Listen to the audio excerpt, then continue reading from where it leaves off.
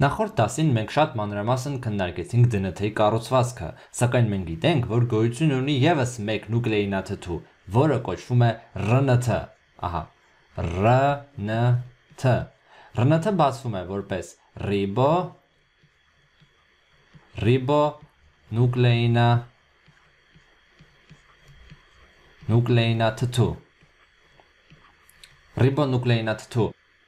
Եկեք հիշենք, որ ԴՆԹ-ն բացվում էր դեզօքսիռիբո նուկլեինաթթու, նշանակում է նրա ածխաջրում, ԴՆԹ-ի ածխաջրում պակասում է 1 թթվածին, այսինքն, եթե մենք այստեղ ԴՆԹ-ի կառուցվածքում ավելացնենք 1 մոլեկուլ թթվածին, ահա եկեք ավելացնենք այդ թթվածինը։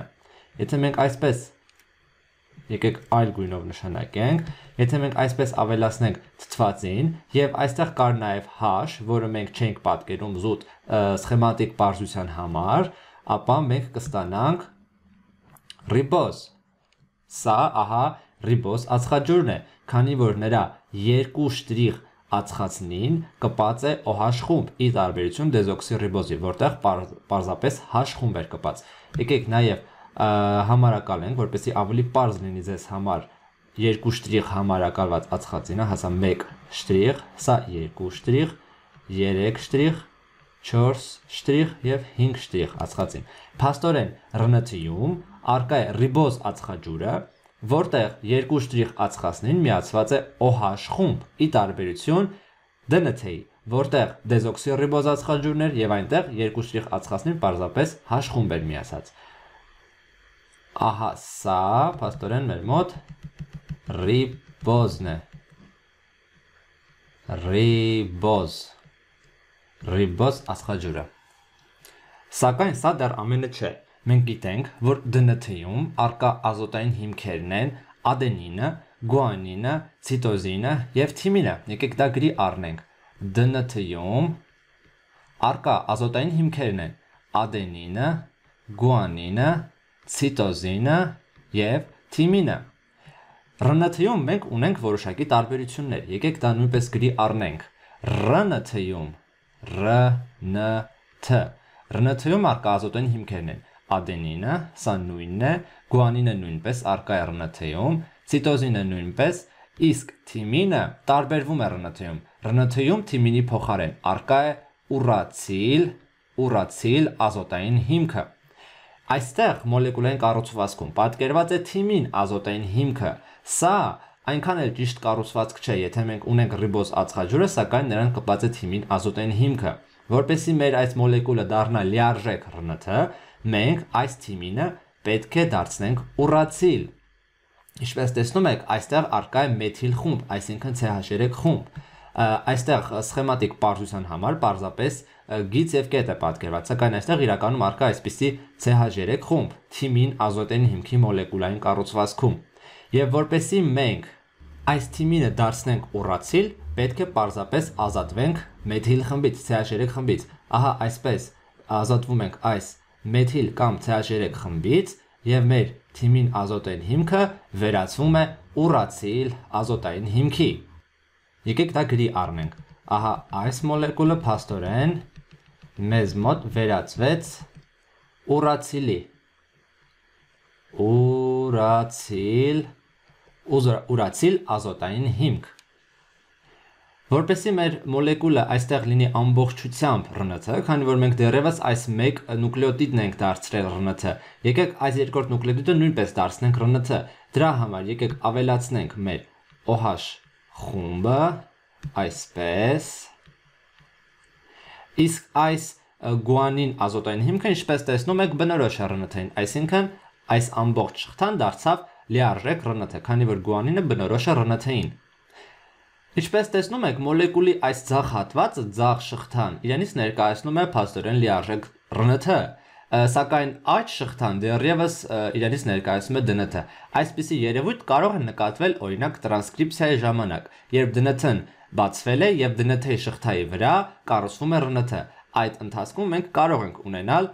ԴՆԹ եւ ՌՆԹ շղթաներ իրար հետ կապված ջրածնային կապերով։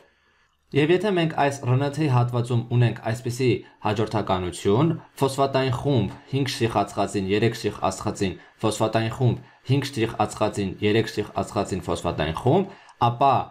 նրա դիմաց գտնվող դնթի շղթայում կունենանք հակառակ պատկերը։ Եկեք դա պատկերենք։ Ֆասոն մենք այստեղ ունենք 5 շտրիխ ածխածին, 3 շտրիխ ածխածին եւ նորից ֆոսֆատային խումբ, իսկ դիմացի դնթի մոլեկուլում կլինի հակառակ ուղությունը։ Ֆոսֆատային խումբ այս ներքևից վերը, իսկ եթե վերևից ներքևիչն են կլինի ֆոսֆատային խումբ 3 շտրիխ ածխածին, 5 շտրիխ ածխածին, ֆոսֆատային խումբ 3 շտրիխ ածխածին եւ 5 շտրիխ ածխածին։ Եկեք դա մենք ավելի པարս պատկերենք։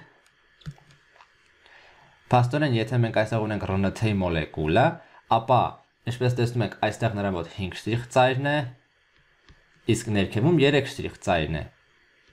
Եվ նրան միացած ազոտային հիմքերն են ուրացիլը եւ գուանինը, եկեք դա պատկերենք։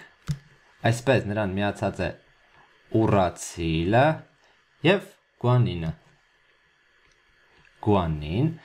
նրա դիմաց DNT մոլեկուլում կլինի այսպիսի պատկեր։ Այսպես DNT մոլեկուլը եւ հակառակ ուղությամբ կլինի 3 շտրիխ եւ 5 շտրիխ։ Փաստորեն նրանք հակառակ ուղություններն ունեն։ Իսկ ուրացիլի դիմաց դնթեում կլինի ադենինը, ադենինը, ահա։ Իսկ գուանինի դիմաց կլինի ցիտոզինը։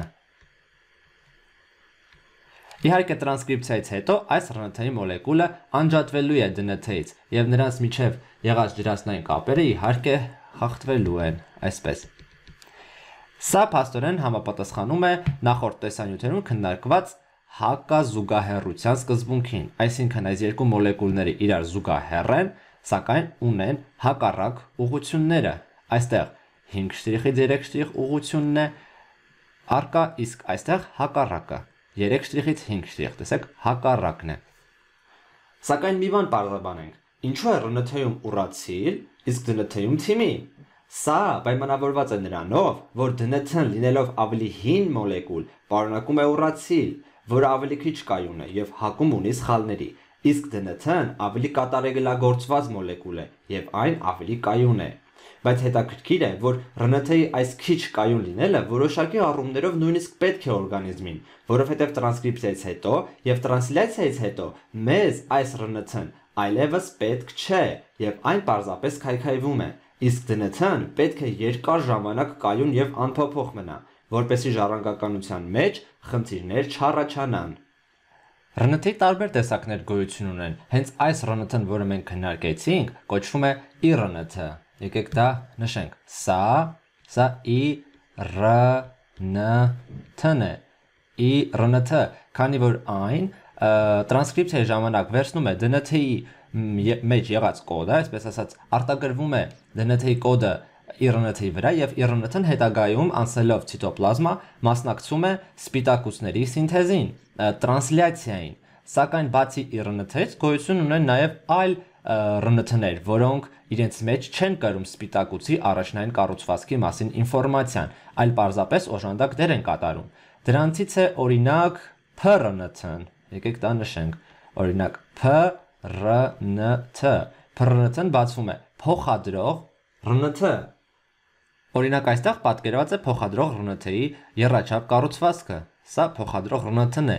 Այն իրականացնում է ամինաթթվի փոխադրումը։ Նրա մի ծայրում այստեղ կապվում է ամինաթթուն եւ RNT-ն ամինաթթուն տեղափոխում է դեպի ռիբոսոմ, որտեղ տեղի ունենում տրանսլյացիա։ Նրա հա անտիկոդոնային հատվածով հա այստեղ այստեղ գտնվում է անտիկոդոնը։ Ան կազմված է նուկլեոտիդներից, օրինակ այն կարող է լինել ցիտոզին, ուրացիլ, գուանին, C ու G անտիկոդոնը ճանաչում է IRNT-ի կոդոնը եւ այսպես որոշակի ամինաթթու կանգնում է որոշակի դիրքում եւ ստացվում է սպիտակուց։ Կան նաեւ ռիբոսոմային RNT-ներ R, RNT։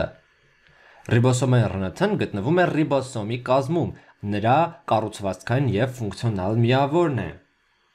Բացի սրանցից կան նաև միկրոռնթներ, միկրո միկրոռնթ, որոնք կարգավորում են տրանսկրիպցիայի արդյունքում առաջացած իռնթների քանակը։ Այսպիսով ՌՆԹ-ները բազմապիսի գործառույթներ իրականացնող բազմազան մոլեկուլներ են։